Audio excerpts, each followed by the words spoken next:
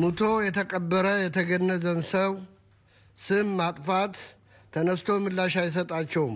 ልጄን ሁለተኛ ሞት እየገደሉት ነው። ככל שעובר הזמן ותשובות מה קרה בליל מותו של סלומון טקה עדיין אין, הסבלנות של משפחתו אוזלת.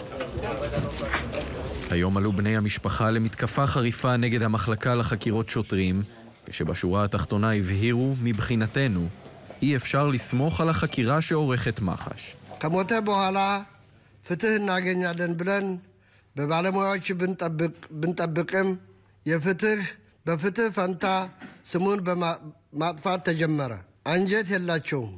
የእግዚአብሔሩን አይፈርዱም፣ ለእግዚአብሔርም ብለው እውነትን አይናገሩም። המסע המתוזמר היטב, שנועד להכין את הציבור להפחתת האחריות של השוטר היורה, מנסה להפוך את הקורבן לנאשם, את האשם, היורה, לכמעט קורבן של הנסיבות.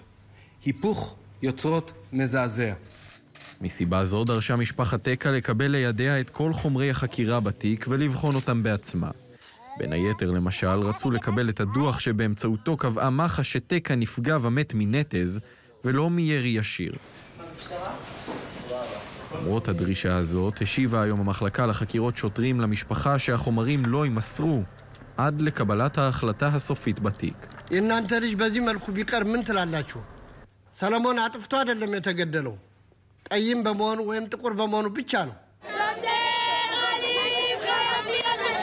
אחרי שביקשו להימנע ממחאות אלימות, במשפחת טקה מאוכזבים כעת מכך שהם נחשפים בעיקר להדלפות נגד סלומון.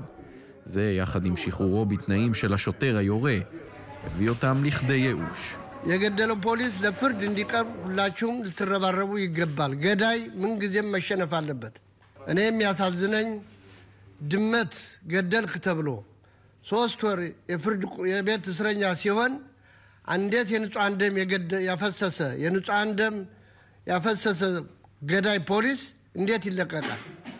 כעת מתכוננים במשפחת טקה לשלב הבא של המחאה. לדבריהם, אם לא יקבלו את חומרי החקירה בתיק הירי בסלומון, כבר בתחילת השבוע הבא יפנו לבג"ץ.